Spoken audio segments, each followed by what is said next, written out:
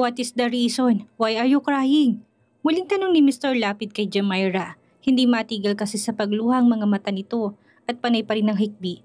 Sobrang bigat ng nararamdaman ni Jamira ngayon at halos nagkasabay-sabay ng kanyang isipin. Ayaw niya sanang magsabi kay Mr. Lapid ng problema dahil ayaw na niyang madagdagan pang kanyang mga utang na loob dito. Alam ni Jamira na hindi siya matatanggihan nito. Yun nga lang ay buhat nang umalis siya sa bar ay tuluyan na niyang kinalimutan ng lahat ng tao na nakilala niya roon. Do you know I've been looking for you for a long time? I dare to see you on the way. Jamira really waited for this opportunity to see you again. I am about to leave the country and it may take me a long time before I can return or I may not be able to return. What I really want is to see you before I even leave. And that's all I can catch up with. Say, what's the problem? It's my joy to help you. So don't be shy. Maybe this will be our last meeting. Tell me and I will help you right now. Wika ni Mr. Lapid sa dalaga. Nakahinto lamang ang kotse nila at si Jamira ay patuloy namang nakikinig. Nakaramdam rin siya ng lungkot sa narinig. Sa isip-isip niya ay talagang ganoon. Masaya siya dahil may isang tulad ni Mr. Lapid na nakahanda na palaging tumulong. Hindi na siya nagdalawang isip na magsabi sa ginoo. Nakakahiyaman pero kinuha na niyang pagkakataon na ito upang humingi ng tulong.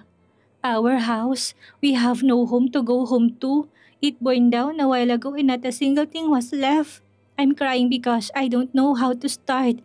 My father's still sick and my siblings are still small. I don't know what to do. Where am I going to get a large sum of money? Oh my, I'm sorry to hear that. How much do you need? I'll give it to you. Tell me how much you need as a start.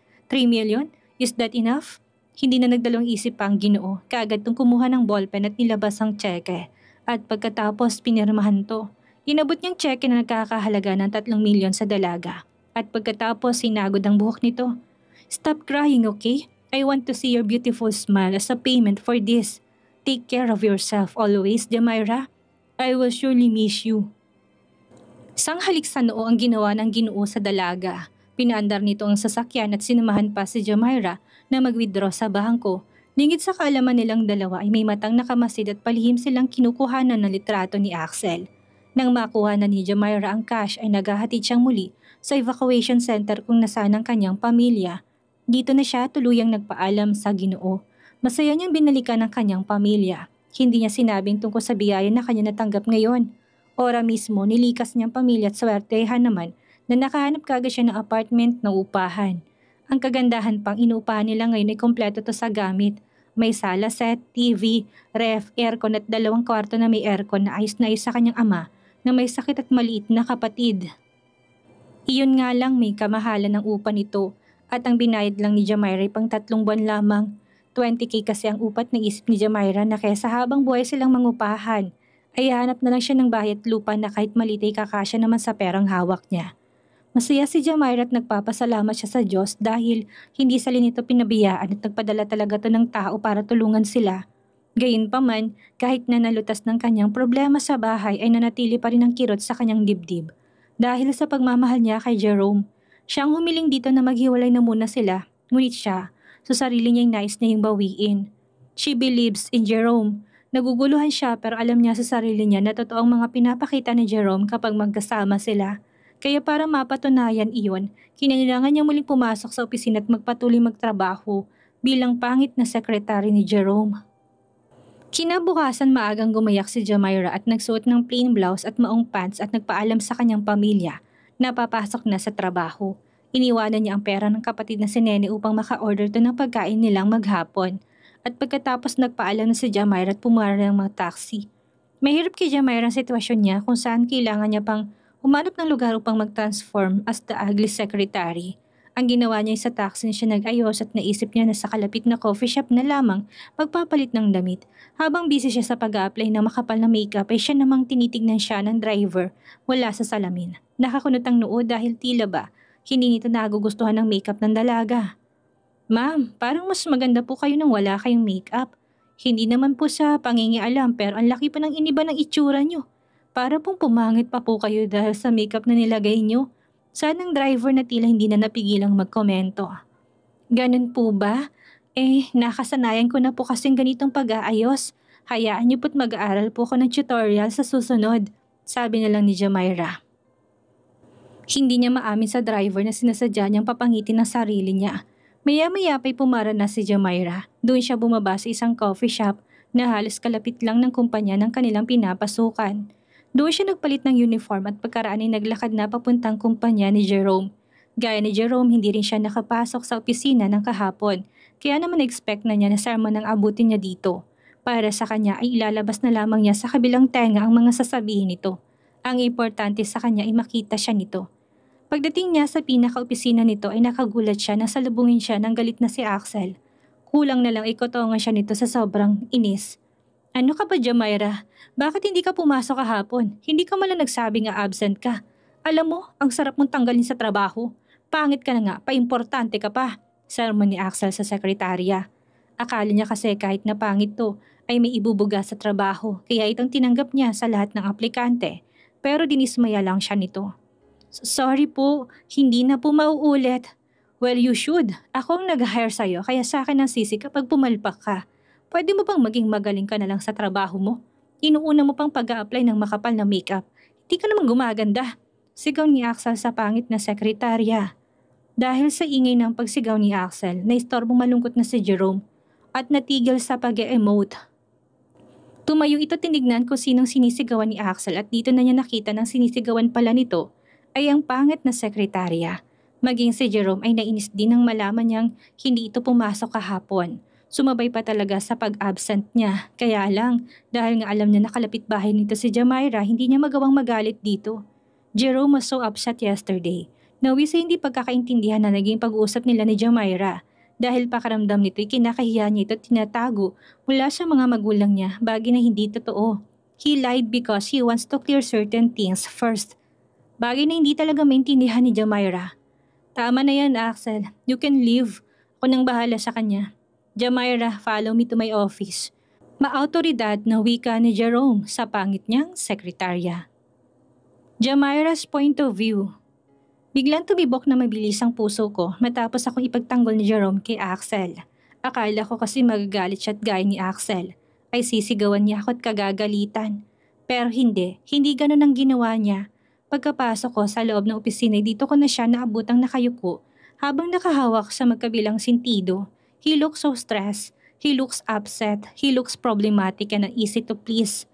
Sir, nagkaroon kasi ng problema. Pasensya na po, mahinang paliwanag ko habang nilalarong laylayan ng uniform ko. Hindi siya natinag sa akin sinabit na natili lang sa ganong posisyon. Nagdesisyon ako na tumalikod na para lumakad palabas, kaya lang bigla ako napahinto na sabihin niyang, I'm not mad.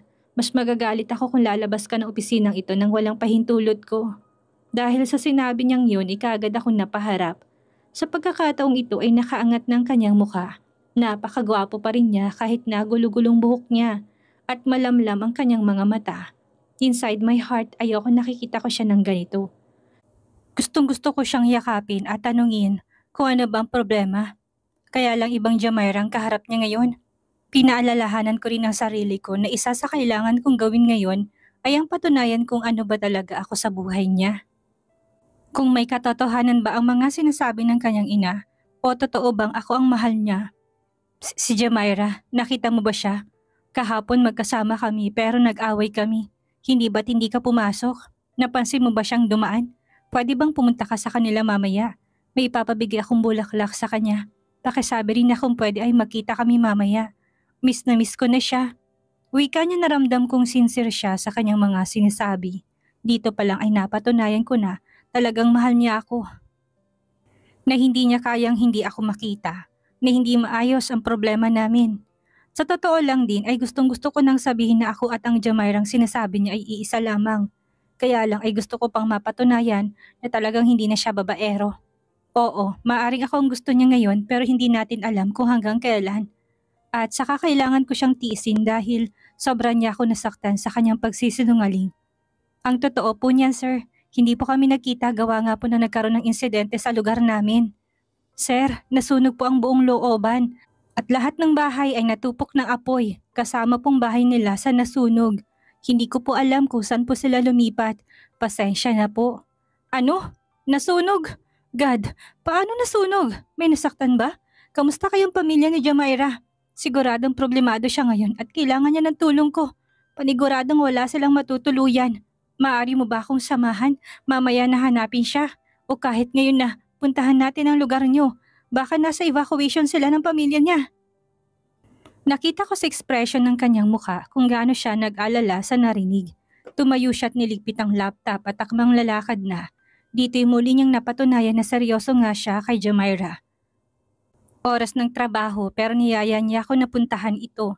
Kinikilig na ako sa mga oras na to dahil sa mga salitang binitawan niya. Wala kay Jerome ang problema ko hindi ay nasa akin na. Kapwa papalabas na sana kami ng kanyang opisina nang bigla namang nakasalubong ang kanyang mga magulang. Dahil dito ay napayuko ako. Oo nga at ibang Jamaira ang kaharap nila ngayon pero naroon pa rin ang takot ko sa kanila na baka mabuking ako. Ma'am, Dad, Anong ginagawa niyo rito? Napatras si Jerome at muling napabalik sa kanyang upuan. Ako naman inanatiling na kayo ko. Here, we came here for you to see this son. Wika ng ina niya. Hindi ko alam kung ano yun kaya bahagi ako nag-angat ng mukha. Dito ko na nakita ang mga larawan na nasa lamesa ngayon ni Jerome. Hindi ko alam kung anong larawan ng mga yon kaya nanatili ako nakatingin doon. That was captured yesterday. Yan bang babaeng minamahal mo ka mo ha? Ngayon mo sabihin na matino siya. Nagkasunog sa lugar nila. Alam mo ba yon? Tinanggihan mo ba na tulungan kaya sa iba humingi ng tulong? She was with that old man. Nandyan ang lahat ng ebidensya. Sumakay siya sa kotse at pumunta sila sa bangko. What's funny here? I'm sure hindi mo alam ang lahat ng ito, son. You should thank me later. Kung hindi dahil sa mga larawan na yan, hindi ka magigising sa katotohanan. My God, magseseryoso ka lang sa isang katulad pa niya. Kahit hindi ko makitang mga nasabing larawan ay alam ko na ako yon ako yung pinag-uusapan nila at ang tinutukoy ng larawan ay yung kagabi sa amin ni Mr. Lapid. Wala akong ibang pinaghihinalaan na nagpicture ng mga yon maliban kay Axel. Siya ang naroroon kagabi at sure na sure ako na ginawa niya yon para siraan lalo ako. Sabi na nga ba, hindi talaga siya mapagkakatiwalaan. Nakita kong pag-iba ng ekspresyon ng mukha ni Jerome. Bigla na lamang niya nilamuko sa mga larawang yon at tinapon na lang kung saan. Hindi ko ma-defend ang sarili ko na mali ang iniisip nila. I know ma'am, thank you for this. Alam ko nagkasunog pero hindi ko alam na may ganito. Makakaalis na kayo. Payak na wika ni Jerome sa mga magulang. Nakakatakot pala maging tahimik ang isang tulad ni Jerome. Nakatingin siya sa malayo at nakikita kong paggalaw ng kanyang panga.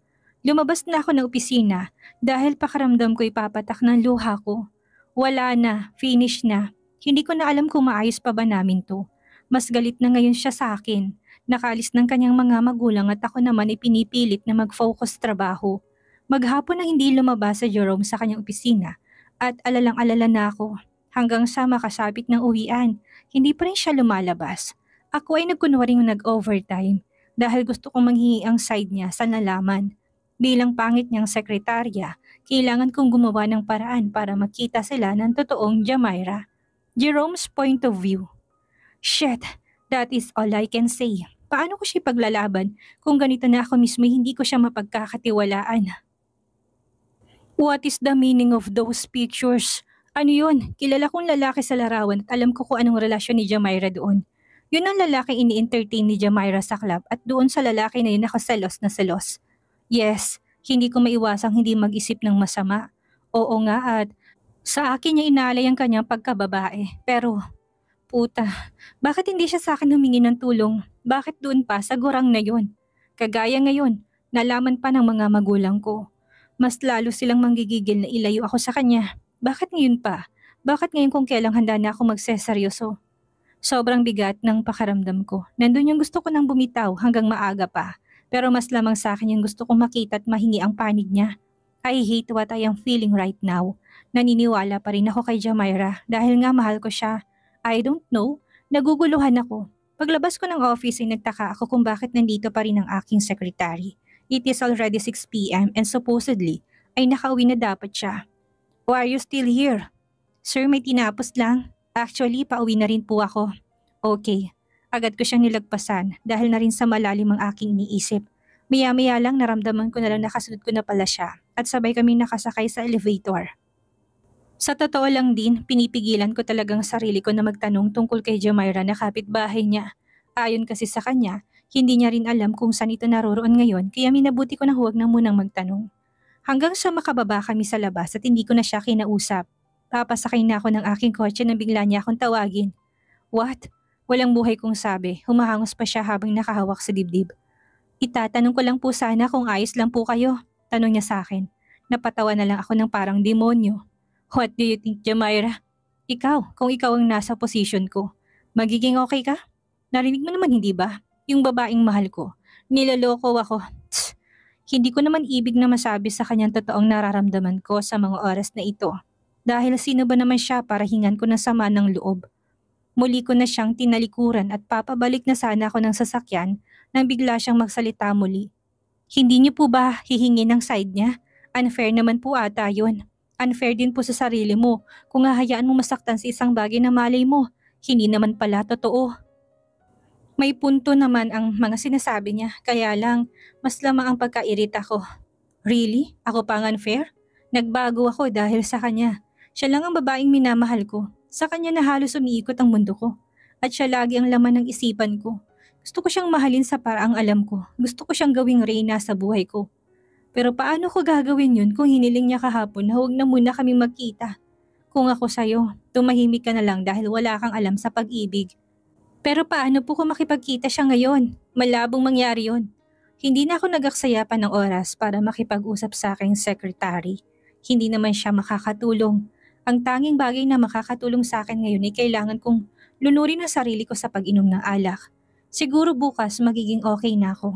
Dahil naiinis pa ako at ayoko munang makausap sila mommy dahil paniguradong ipapamukha lang nila sa akin kung anong katangahan ang ginagawa ko rito sa Pilipinas. Nagpasya akong uminom sa isang lugar na tahimik kung saan malaya akong makakapag-isip ng maayos habang umiinom. Hindi sa bar, hindi sa kung saan mang party club ako dinala ng pagmamaneho ko. Dito ako napadpad sa my seaside Bitbit ang mga alak na pinamili ko'y dito ako sa may tabing dagat na upot nagsimulang mag-inom. Siguro ay karma na tong nangyayari sa akin. Sa dami ng babaeng pinaglaruan ko at ginamit ay itong sakit na nararamdaman ko ngayon. Ang kabayaran. Minahal ko ang isang babae na hindi ko alam kung kaya ba akong mahalin pabalik. I hate our situations. Bilang lalaki, ako talagang pinaka nasasaktan ngayon. Sinimsim kong mapait na alak na laman ng hawak ang bote Ininom ko ng ininom dahil yun ang layunin ko. Ang malasing, nakatingin lang ako sa dagat at sinusubukang bigyan ng kapayapaan ang aking isip. Pagkatapos ko makaubos ng apat na bote ng beer, ay bigla ko na lang naalalang mga sinabi kanina ng aking pangit na sekretarya. What if nga nalulungkot ako sa walang kadahilanan? What if mali ang intindi ko sa mga nasabing larawan? What if hindi naman talaga ako kayang lokohin ni Jamaira na kailangan lang talaga naming mag-usap? Napangiti na lang ako ng mapait. Paano ko siya hanapin? Hindi siya sumasagot sa mga text at tawag ko. Kung talagang importante ako sa kanya, ay gagawa siya ng paraan para magkabati kami. Alam niya na isang tawag lang o text ay darating ako pero ano? Heto at tinitis niya ako. Hanggang sa anim na bote nang naitutumba ko, ganun pa rin. Hindi pa rin nawawala ang sakit. Papatulo na sana ang luha ko nang bigla itong maudlot nang biglang tumunog ang cellphone ko sa bulsa. Nung uning sinubukan kong wag yung pansinin, pero sa huli naisip ko pa rin sagutin. Nang tignan ko kung sinong tumatawag, bigla akong nabuhayan matapos ko makita ang pangalan na Jamaira sa aking screen. Jerome, nasan ka? Pwede ba tayong magkita? Pwede ba tayong mag-usap? Oo naman, kahapon ko pa hinihintay ang tawag mo. Ikaw ang nasaan? Pupuntahan kita ngayon mismo. Marami kang kailangang linawin sa akin. Sige, magkita tayo. Hindi ko alintanang pagkamanhid ng katawan ko dahil na rin sa anim na bote ng beer ang nainom ko. Agad akong tumayo at naglakad patungo sa sasakyan matapos sabihin ni Jamira na gusto niya makipagkita sa akin. Buiset, boses pa lang niya ang narinig ko pero kumalma na ang damdamin ko. I know I might sound corny, pero ito talagang nararamdaman ko. Tinamaan na talaga ako. Papaalis na sana si Jamira para makipagkita kay Jerome. Upang magkaayos na sila, ay siya namang nagkaroon ng emergency sa bahay nila. Bigla na lang kasing sumakit ang tiyan ng kapatid niyang si Doray at suka ng suka. Nakabis na't lahat si Jamira at naisan na niya kay Jerome ang location ng pagtatagpuan nila pero mas inuna niya ang kapatid na halos namumutla na sa kakasuka. Kasama kapatid niyang si Nene, sinugod nila si Doray sa pinakamalapit na ospital. Sa pagkakataong iyon, hindi iniisip ni Jamira ang pera. Gawa nga ng may pera naman siyang hawak na siyang galing kay Mr. Lapid. Ang iniisip niya ay ang kaligtasan ng kanyang kapatid. At dahil private hospital ang napagdala niya ay nabigyan naman si Dory ng wastong atensyong medikal. Mabuti at nadala niya siya kaagad sa ospital. Food poisoning po ang naging rason ng kanyang pagsusuka. Maaring nakakain ng pasyente ng kontaminadong pagkain. Sa ngayon ay safe ang pasyente at kailangan na lang maubos ang swero sa kanya at pagkatapos ay pwede niyo na siyang iuwi. Saad ng doktor. Naku, maraming salamat po. Thank you Lord. Thank you Jesus. Abot-abot ang pasasalamat ni Jamaira sa itaas. Kabang-kaba na kasi siya kanina at takot na takot. Pagkaalis ng doktor, saka lang naman niya pinuntahan si Doray. Bagamat latang-lata pa rin ito ay panay ang pasasalamat nito sa kanyang ate na palaging nakasuporta sa kanila. Nagyakapan ng magkapatid at nagkaiyakan pa. Habang akap-akap ang kapatid ay dito na napagtanto ni Jamaira na may usapan nga pala sila ni Jerome na magkikita. Wala namang magawa si Jamaira at hindi naman niya maiwanan ng kapatid. Kailangan pa kasing ubusin ng dextrose na nakakabit dito bago sila pinayagan na makauwi. Pagdating sa kanilang bahay kagad-agad na kinuha ni Jamira ang cellphone at sinubukang kontakin ang kasintahan. Apat na oras na kasi ang nakalipas sa kanilang usapan at panigurado umuwi na si Jerome sa kakahintay. Answer the phone please. Hindi na niya makontak si Jerome. Imbis na maayos pa sana nilang hindi nila pagkakaintindihan ay mas lalo pang lumala Apat na oras na naghintay si Jerome sa tinext ni Jamira na kanilang tagpuan. Parang tanga na matyagang naghintay kahit na nilalamok na't naiinip pa. Nakailang tawag si Jerome kay Jamira, ngunit hindi ito sumasagot. Kaya naman muling napaisip si Jerome na baka pinagtitripan na lamang siya nito na komo, alam nitong patay na patay siya rito. You want to play with me, ha? Huh? Honest na lasing na si Jerome bago i-block ang number ng dalaga. Masamang masama ang loob niya dito. Kinabukasan, maagang pumasok si Jamira gamit ang mukha bilang pangit na sekretary. Yes, pumasok siya bilang pangit na sekretary. Hindi para patuloy na lokohin si Jerome, kundi ang ikubli ang totoong katauhan niya mula sa mga taong nakakilala at mababang tingin sa kanya. Pagdating na pagdating niya doon, ikaagad niyang hinanap ang gwapong CEO. Plano niyang umamin na rito kung sino ba talagang nasa likod ng pangit na mukha. But unfortunately, hindi si Jerome ang nakita niya nakaupo sa presidential chair kundi ang katiwala nitong si Axel.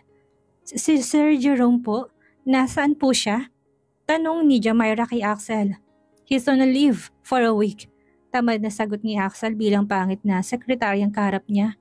Sinanyasan niya pa nga ito na lumabas gamit ang iritadong mukha. Samantala, nalungkot si Jamira sa narinig. Pakiramdam niya may kinalaman siya sa pagliban ni Jerome sa trabaho. Nangihinayang siya dahil hindi sila nakapag-usap ni Jerome at hindi rin maayos ang hindi nila pagkakaunawaan. Buong maghapon siya naging abala sa trabaho bilang sekretary. Si Axel kasi panay ang utos sa kanya. Utos dito at utos doon at tila nananadya ang pagurin siya. Pagod na nga, malungkot pa.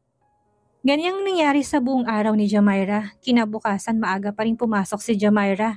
Kahit na alam niyang hindi naman darating si Jerome Alas 7 pa lang ng umaga, nasa opisina na siya at nagsimula ng harapin ng napakaraming trabaho na inuutos ni Axel sa kanya. Way na rin niya yon para malibang mula sa malalim na pag-iisip. Dumaan pang ilang pang mga araw at naging puro ganun ang kanyang routine. Nakakapagod. Maraming utos si Axel kahit na hindi pa sakop ng pagiging sekretary niya. May time pa nga na pinaglinis siya nito ng opisina. Malayong malayo no si Jerome ang CEO. Kay Jerome hindi siya gaanong pagod. Ang hindi alam ni Jamira, nakikita ng mga magulang ni Jerome ang kanyang kasipagan sa trabaho.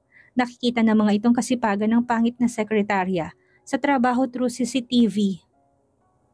Walang may alam na may nakatagong kamera sa opisina ni Jerome at namomonitor ng mag-asawang Travis at Rosa Mia ang mga nangyayari sa opisina. Isang araw ay nag-surprise visit ang mga ito. Gusto kasi nilang bigyan ng reward ang pangit na sekretary. Puring-puri nila si Jamira at binigyan pa nila ito ng tip as appreciation. Naku, hindi na po ito kailangan. Ginagawa ko lang po naman ang trabaho ko. Aniya ni Jamira. Medyo may ilang pa siyang humarap sa mga ito. No, tanggapin mo yan because you deserve it. Ang husay mo, ang kagaya mo ang dapat tularan ng mga empleyado dito. But sadly, ginagawa mong mga bagay na hindi naman sakop ng trabaho mo. Axel was wrong to that. Hindi ka dapat niya pinaglilinis. Sad naman ni Rosa Mia, madali niyang kinagaanan ng loob ang sekretarya ni Jerome. Kahit pangit ito, ay ramdam ni Rosa Mia ang mabuti itong tao. Ganon din ang tingin ni Travis kaya naman big deal sa kanyang labis na pag-uutos ni Axel sa pobreng sekretary. Hindi din nakalampas ang pagiging bossy masyado ni Axel na wala na sa lugar. Hindi kasi nila nagustuhan ang mga napapanood sa CCTV kung paano ininuutusan ng sekretary. Axel, gusto ko lang ipaalala sa'yo kung saan ka nang galing. Hindi para abusuhin mong kapangyarihang ibinigay namin sa'yo. Be fair enough to our employee. Hindi porket pangit siya at pangit na rin ang gagawin mong pakitungo sa kanya. You disappoint me, Axel. Hindi ko alam kung sobra din ba kaming naging mabait sa'yo para gumanyan ka. Hindi na ikaw ang Axel na nakilala namin. Please, ayusin mong trato mo kay Jamaira. Lalo na't hindi namin alam kung kailan babalik si Jerome sa pagtatrabaho. Sermon ni Travis kay Axel. For the last seven days kasi, kitang-kita nila kung paano kawawain ni Axel ang sekretarya. Yung tipong kakaupo pa lang ay inuutos ulit nito Ayaw ng mag-asawa ng ganun kaya kahit alam nila na mo-offend at maring damdamin ni Axel ang kanilang mga sinasabi ay hindi nila yon iniintindi. Samantala, galit at inis ang nararamdaman ngayon ni Axel sa pangit na sekretary. Hindi naman niya ito makakagalitan. O masigawan dahil baka makarating ulit ito kay Travis. Kaya naman naisip niya nintay na lamang itong makalabas ng kumpanya nang sumapit ang uwian at makalabas na sila ay doon nito sinundan ni Axel sa Jamira at nang magkaroon siya ng pagkakataon dito niya ito hiniklat sa braso. Ang galing mo rin eh, no? Na talagang nagsumbong ka pa sa kanila. Ano bang iniisip mo? Na masisiraan mo ko sa kanila? Na kapag nasiraan mo ko, ikaw nang papalit? Pwes, hindi mangyayari yun dahil unang-una pa lang sa itsura mo na magre-reject sa'yo. Pang-insulto niya sa dalaga, ang akala niya pala nagsumbong ito at hindi niya alam na may nakatagong CCTV sa loob ng opisina ni Jerome nang tanging mag-asawa lamang ang may alam kung saan yun nakapwesto. Aray, Sir Axel nasasaktan po ako. Wala po kong alam sa sinasabi niyo. Daing ni Jamaira. Seryoso na siyang nasasaktan sa pamamaraan ng paghawak sa kanya ni Axel. Sinungaling. Dahil sa ginawa mong yan ay lalo kitang pag-iinitan. Subukan mo lang na magsumbong at uutusan ko sa Sir Jerome na sisantihin ka. Huwag mo ko minamalit dahil hindi mo alam kung paano ako magalit. Biglang napabitaw si Axel mula sa pagkakahawak sa dalaga matapos na may dumaan na isang kakilala. Dahil ayaw ni Axel na dumudumi ang pangalan niya, ay nagkunwari siyang kunwari naghaharutan na sila. Takot ang agad na naramdaman ni Jamaira sa binata. Hindi niya kasi lubos akalain na may pangit pala itong pag-uugali. Kaya naman, nang makakuha siya ng pagkakataon, ay kaga siyang tumakbo palayo dito. At dali-dali na sumakay ng taxi. Sa taxi doon na bumuhos ang emosyon ng pobreng sekretarya. Samantala, dahil sa luha ay kumalat ng makeup ni Jamaira, kaya doon na rin sa taxi niya tinanggal ang makeup, remover at wipes. Iyak pa rin siya ng iyak, gaya ng ibang taxi driver na nasasakyan niya ay gulat na gulat din ang driver nang maalis ang makeup ng dalaga. Ang alam ko, pangit ang sumakay sa akin kanina. Bakit ngayon isa na siyang diwata? Maganda pala siya kapag walang makeup. Hay, ang mga kabataan nga naman ngayon. Pinapapangit ang sarili. Sad ng driver sa kanyang isipan. Gandang-ganda siya sa sakay niya ngayon at halos hindi na magawang mag-concentrate sa pagmamaneho. He was so amazed. Samantalang hindi alam ni Jamira na kasunod sa kanya si Axel. Nalaman tuloy nito kung saan siya nakatira dahil hanggang sa makababa siya ay nakasunod pa rin ito. Dahil wala na siyang makapal na makeup ay nabisto na rin ni Axel ang totoo niyang pagkatao. Nung una akala ni Axel na namali lang siya ng taxi na sinundan dahil ibang Jamira nang bumaba sa taxi ang Jamaira na maganda at siyang kinahuhumalingan ng CEO. Pero dahil sa suot nitong uniform, ay dito na nalaman ni Axel na si Jamaira ang kinahumalingan ni Jerome at ang pangit na sekretaryong si Jamaira ay iisa. Napangiti na lang siya na parang demonyo sa hangin. All this time, hindi mala niya ito natunugan. Siya pang nag-hire dito para maging secretary dahil sa pagkakalang pangit nga ito. Not anymore. Sila maluloko mo, ako hindi. Humanda ka bukas. Siguradong magugustuhan mong gagawin ko sa'yo. Ngayon pa lang ako papatol sa pangit dahil hindi ka naman totoong pangit. Hindi hindi ko pa nakakalimutan ang perpekto mong hubad na katawan. Jamaira? Ano ang mangyayari kay Jamaira ngayong alam na ni Axel? Ang pinakatatagong lihim niya. Malaman na rin kaya ni Jerome ang tungkol dito? Yan ang ating aalamin sa susunod nating kabanata.